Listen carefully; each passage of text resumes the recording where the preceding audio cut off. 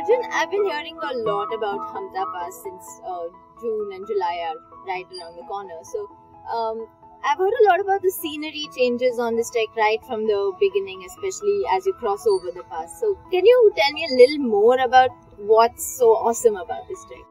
Hampta Pass trek is not a very long trek. It's a four or five days uh, uh, yeah. trek. But even in this short uh, trek, you get terrific scenery changes.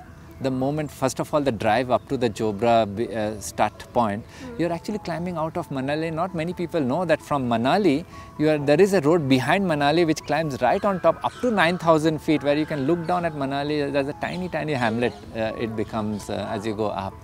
But leave aside the drive, uh, which is very pretty in any case from Jobra, you get through, get into this maple uh, forest. Now, where do you in our country do you see maple? Uh, uh, yeah, maple forest and uh, and things like that. And then you get uh, soon after the forest not too big.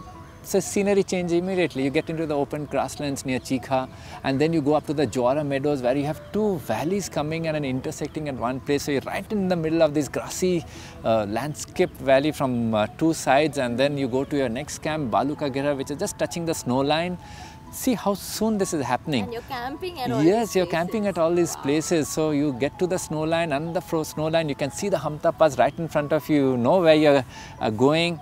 And this whole Hampta Pass trek is a very, very narrow valley.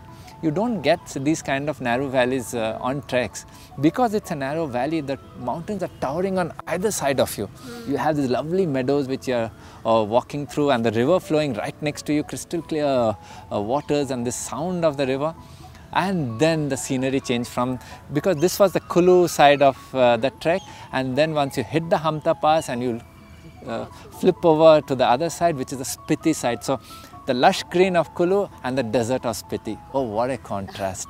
Trekkers also have a bonus uh, of the Chandratal trek if it is accessible to go.